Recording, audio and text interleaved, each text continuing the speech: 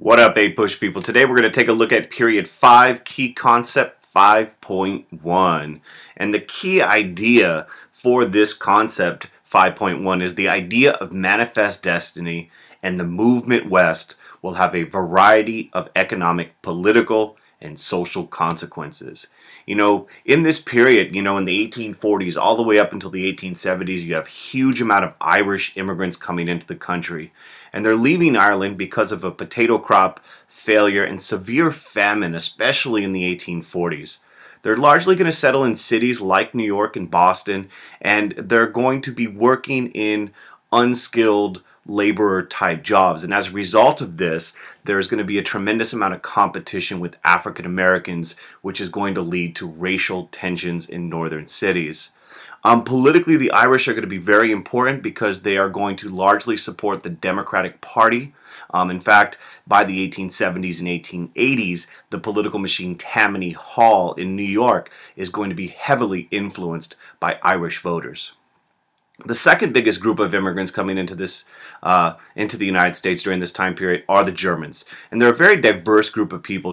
Germany is not a unified nation yet um, by this time. Um, there's a mix of German immigrants coming in, a mix of religions, Protestants, Catholics, Jews.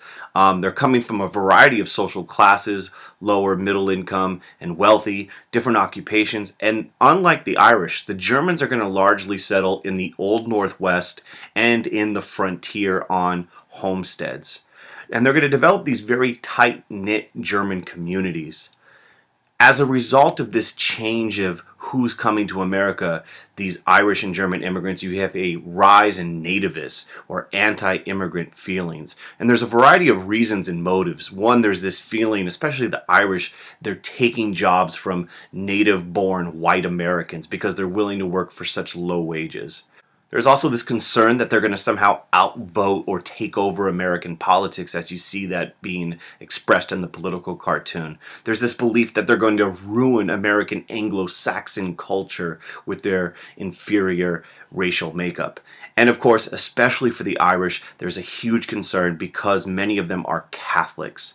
And there's this fear that somehow they're going to ruin this idea of a Protestant, white Anglo Saxon America. There's going to be political groups that are going to form the Order of the Star Spangled Banner, later on forming a political group called the Know Nothing Party. They're a group of American nativists, and they're going to advocate um, for restrictions on immigration throughout this period. And an important concept to keep in mind, though, is America was becoming more and more ethnically and racially diverse. New people are coming in to America. Another key concept to keep in mind is this enthusiasm for territorial expansion. And this has been a reality of American history way before the 1840s, but it increases. And it's based upon economic, national security interest, and claims of U.S. racial and cultural superiority. And really, the big belief in the 1840s is this idea of manifest destiny. This idea that it was America's destiny to conquer and civilize the entire continent all the way to, to the Pacific Ocean. Um, this idea is heavily built upon a belief of white superiority that we are somehow going to civilize. You could see that in that painting called American Progress. A lot of examples of American expansion during this period. 1846, a treaty is signed by James K. Polk establishing U.S. occupation of Oregon country at the 49th parallel. During the election of 1844, there was these threats of 54-40 or fight, no fight needed, and Oregon would be under U.S. command. Texas is annexed in 1845 by John Tyler, just as Polk is getting elected. And of course, the big one is the Mexican American War, which will end in 1848 with the Treaty of Guadalupe Hidalgo. And Mexico is going to lose a huge chunk of its territory to the United States big idea that you also need to keep in mind is new territories were brought into the Union which forced the issue of slavery into the center of national politics. They've been trying to compromise and avoid it, and inevitably, this is going to lead to a rise in sectionalism, which we're going to cover in the lecture on Key Concept 5.2. In fact, if you click that pony, you'll be transported to that lecture on sectionalism. Now, the other part of this kind of period is this idea of Western expansion. And you can see on this map that expansion is taking place over time in the 1850s, 60s, 70s, and so on. We've already seen this. For example, the Mormons were seeking religious refuge um, from intolerance towards their faith. In 1847, they settled in uh, Utah territory. In 1848, there's the California Gold Rush, which brings a ton of people into the area, um, and you get the uh, rise of calls for California to enter into the Union as a free state. And a big idea you need to keep in mind when studying this period is that new economic opportunities and religious refuge out in the West were a key factor in bringing people, um, not just white Americans, but African Americans, Asian immigrants from China, and all over the world. Another important idea is this idea of the federal government actively promoting economic development and the movement west. You know, there's this idea that a lot of people have that, you know, these cowboys got on these stagecoaches and headed west, this rugged individualism. And this is not entirely true. In fact, economic activities out in the West were largely driven by federal government policies. For example, in 1862, the Pacific Railroad Act was passed during the Civil War, which authorized the building of the Transcontinental Railroad along a northern route. And you can see those red lines are railroad construction in the period 1870 to 1890. So mass building of the railroad out into the west.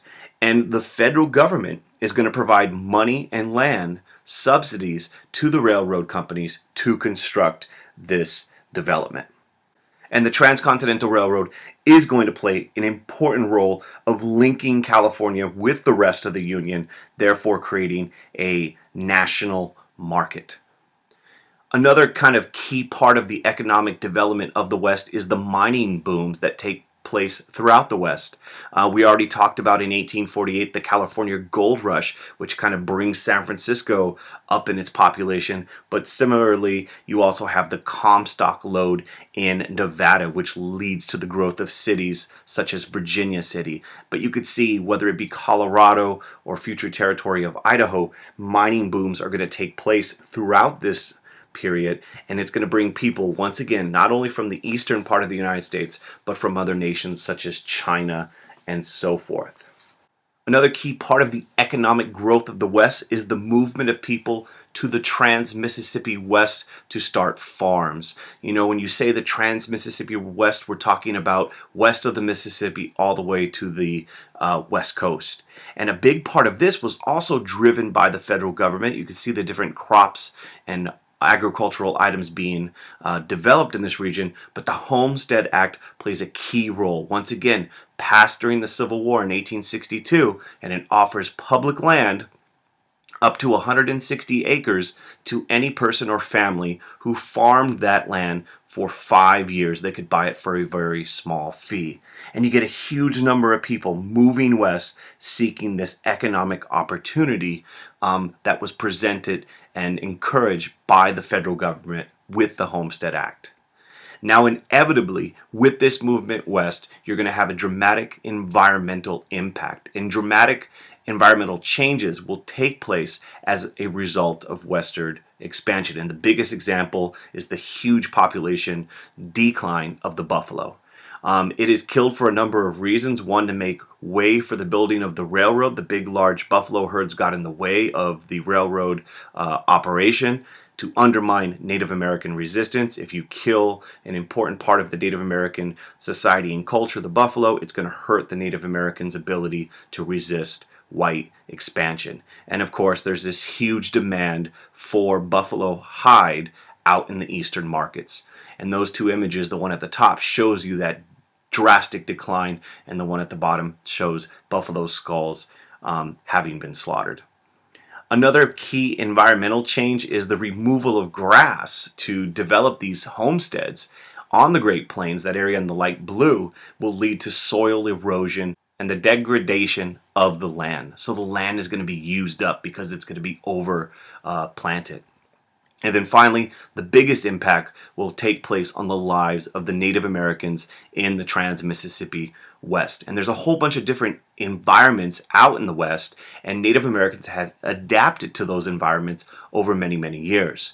And it is going to, unfortunately, to brutal conflict between American settlers and the Native people who had uh, called this home for many, many years. The two circled ones are the ones we're going to cover for period five. We'll cover the others in period six.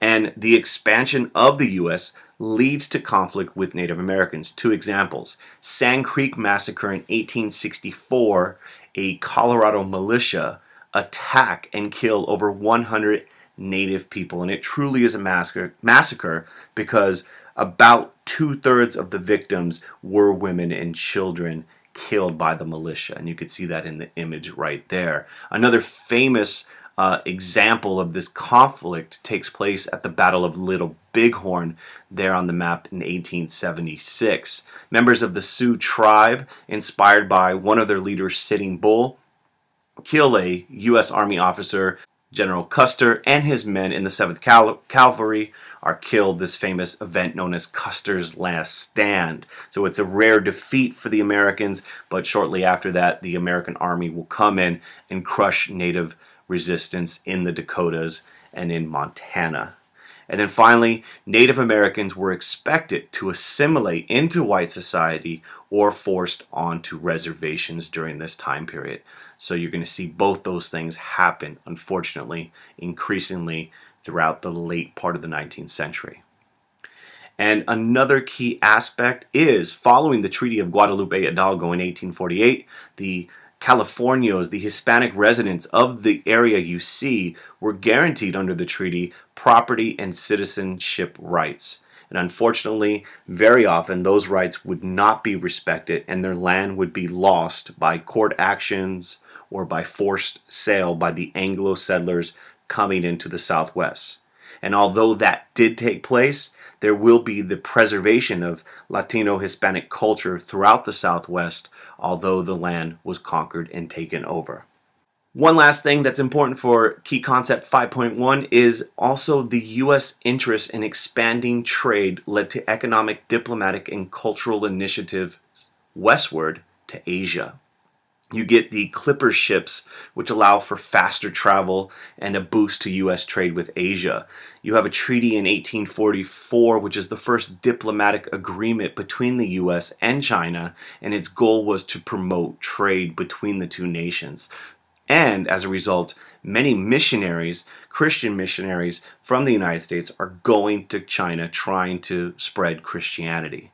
And Japan, as well, is seen as a place for economic relationship, and Japan opens up, which had been isolated for over 200 years. And President Fillmore sends Commodore Matthew Perry in 1852 to Japan to open up relations between the two nations.